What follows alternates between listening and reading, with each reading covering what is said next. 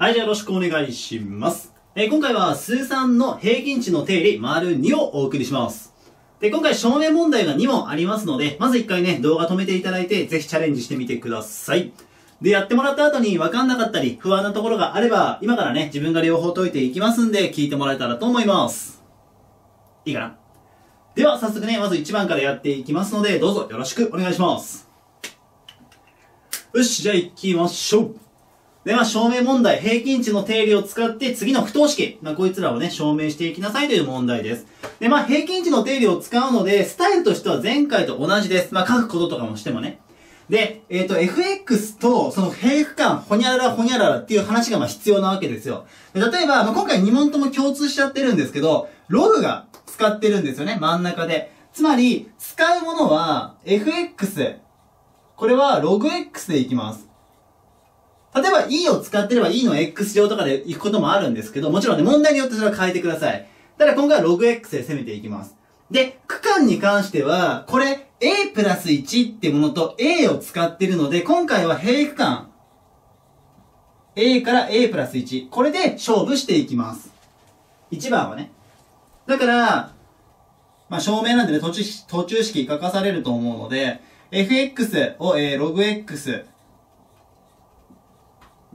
とするとまずしてね、もらって、で、その平区間で、まあ、本当はね、回区間と平区間分けて書くべきなんでしょうけど、まあ、平区間でまとめてしまっても大丈夫だと思うので、もしね、あのーみんなが受けてる先生がちゃんと分けて書けよってことだったら分けて書いてください。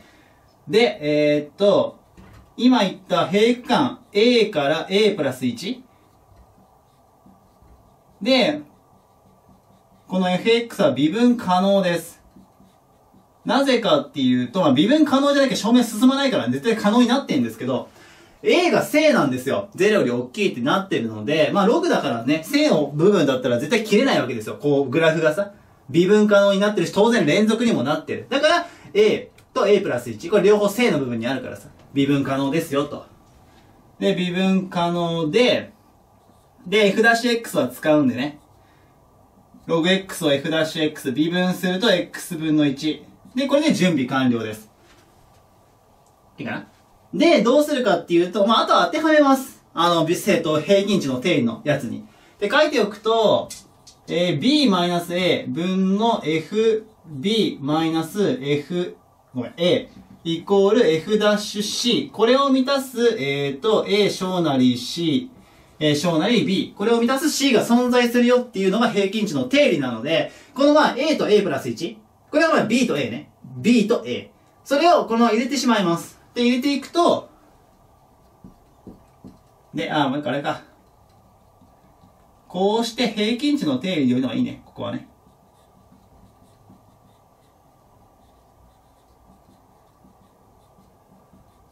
平均値の 定理より、で、当てはめていくと、a プラス1、えー、カッコつけとこうか。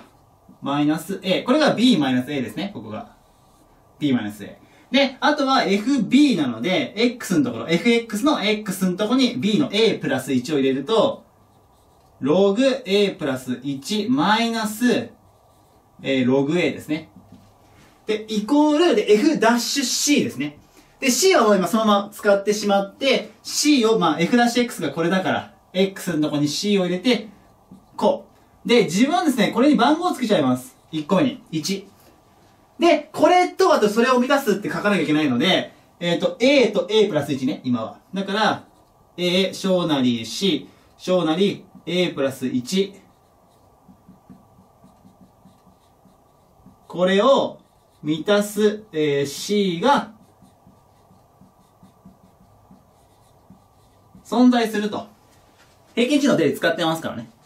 で、こうなりましたと。で、ここからどうするかっていうと、今、こいつと、1番のね、こいつとこれを繋げたいんですよ。で、繋げるためには、これ c 分の1がここにいるので、これも c 分の1にしてしまいます。で、こいつ全部逆数にします。全部逆数。で、今、ちゃんと書くんだったら、A は正ですよね。A は正。で、右辺に、右辺っていうか一番右にある A プラス1も、両方正なので、全部正の状態で、このね、不等、不等式。これを全部逆数にひっくり返すと、右側と左側が入れ替わります。入れ替わる。つまり何が言いたいかっていうと、もしこうなってたら、これ全部こうやって分数逆数取った場合、こことここひっくり返りますよね。3分の1が左側に来て、2分の1が右に来なきゃいけない。正だからね。だから今正と書いたので、ひっくり返ると、a プラス1分の1、小なり c 分の1、小なり a 分の1とこうなります。ひっくり返ってね。で、これが2番。そうだね。絶対証明入りきんないと思ったけど。案の定だ。で、この1番と2番つなげます。で、1、2より、この c 分の1とこれが一緒なんで、この塊をここにポンって入れます。で、これ整理すると、分母が a-a で消えて1になるんですよね。つまり分母なくなってしまうので、まあ、分子がそのまま残りますと。入れると、これ a プラス1ね。小なり c 分の1のところにこれを入れるので、ログ、あ、下まだ入ったな。え、ちょっと待って、あと1行でね、終わりなんですけど、ちょっとね、右側の問題のことを考えると、ねじ込みたいところはある。えー、っと、入るかな？ちょっと待ってね。これがギリ。1、2より、ちょっと右にずれて、a プラス1分の1、え、小なり、もう一回もね、これを戻して、ログ、カッコ a プラス1、えー、マイナス、ログ a。これが c 分の1ね、今ね。ここね、c 分の1。で、小なり a 分の1と。こうなりましたと。おやおやとね。これ、もともと証明したかったこれが出てきましたんで、はい、これで終了と。いう風になります。だから流れとしては、まあ、最初にね、もちろん言葉を言わなきゃいけないんですけど、平均値の定理を使って、これです。平均値の定理は2個。1個目をまず1番で、自分は置いちゃうんだけど、これ置かなくてもいいです。1番手置いて、2番目の不等式、こいつを基本的に逆数で、まあこれと繋げられるようにして、2つをガチンコしてもらって、で、あとは求めるっていう流れでいけますので、まあ2番もそんな感じでやっていきましょう。で、この1番の問題ね、ちょっといろんな問題集見てたんですけど、この部分、ここね、ちょっと黒で書こうか。この部分を、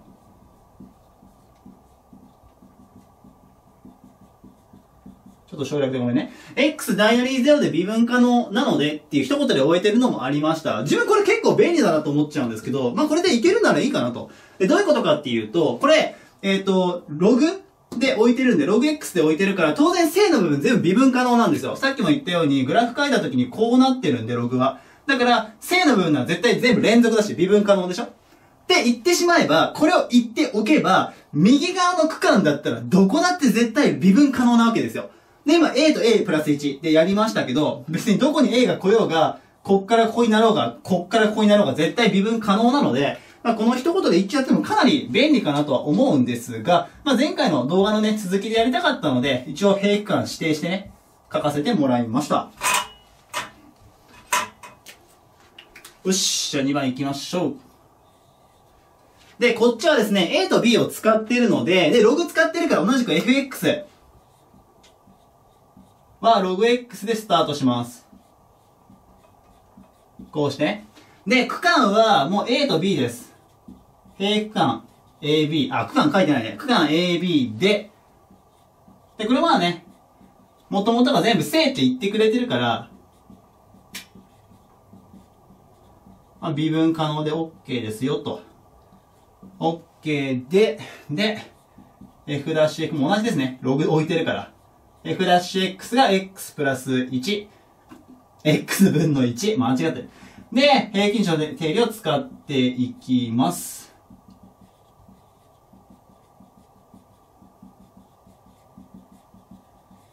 こうですね。平均値の定理より。で、さっきと同じようにやっていきましょう。まず b マイナス a ですね。今回まあ b と a 使ってるから分かりやすいね。で、fb なんで、ログ b マイナスえー、ログ A。こうなります。で、イコール F ダッシュ C ですね。まあ、これは同じく C を入れて C 分の1と。で、自分はここでまず1番をつけてしまいます。で、もう1個。不等式 A、小なり C、小なり B。えー、これを、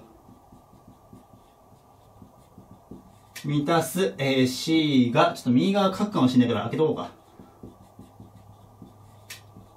で、存在すると。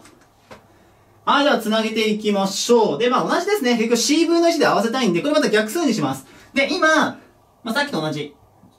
A も B も両方、正なので、こいつの逆数を取った場合、C 分の1をね、した場合は、A 分の1と B 分の1がひっくり返ります、場所が。だから左側が B 分の1、右側が A 分の1と。こうなる。で、1番と2番。つなげてもらうと、まあ、これはね、もう、こっちみたいに簡単にはできないので、このまま入れます。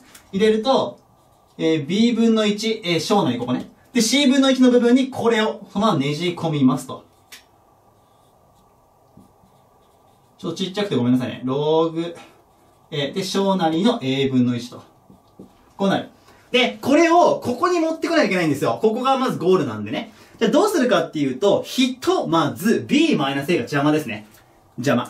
B マイナスが邪魔なんで、全体 B マイナス A をかけますと。かけるんですけど、これ大事なのが、この一言ね。今から全体にかけようと思ってる B マイナス A は絶対に正です。なぜなら B の方が大きいから。B マイナス A は正になってる。負をかけた場合と正をかけた場合変わりますからね。正でかけてるんだったら別に全部変わらないんですよ。位置が。右左は変わらないんですけど。だから、このまま B マイナス A をかけて、ここにもかけます。かけると、ちょっとね、省略したいんで、こうなりますよね。b 分の1に b マイナス a かけるとこうなる。これは分数っていうのはこっちとこっちに分けることができるんで、b ま、あ、b 分の b で1マイナス b 分の a とすることができます。つまり、1マイナス b 分の a。こうなる。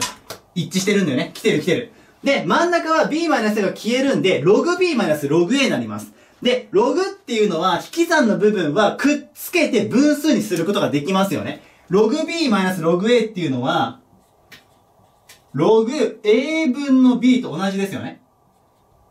だからこうなる。来てるね。で、最後です。a 分の1にも b マイナス a をかけると、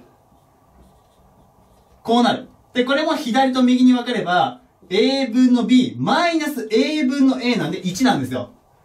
つまり a 分の b マイナス1となって言いたかったやつにたどり着けたけど、ちょっとはいな、引いていい？ごめんなさいね。はい、ごめんなさい。という感じになります。いいかな？まあ、前回のやつ同様、ちょっとこのね、最初の部分の書き方については、もしね、学校の先生とちょっと怪しかったりとかする場合はそっちに合わせてください。自分はちょっとこれでいけるかなと思ってはいるんですが、ただ、方針としては最初にまあ FX を置きましょうと。で、平区間もね、平区間とか区間か、もう指定してもらって、で、そこで平均値の定理を使いましょうと。で、平均値の定理を使うと2個出てきます。こういう式のやつと不等式。それを両方、まあ、不等式の方はちょっと若干変形が必要になることが出てきますが、それを変形してくっつけますと。で、くっつければ最後求めたいところのゴールにたどり着けますので、ぜひこんな感じでやってみてください。では、今回は平均値の定理丸にやらせていただきました。今回の授業はこれで終わります。以上です。ありがとうございました。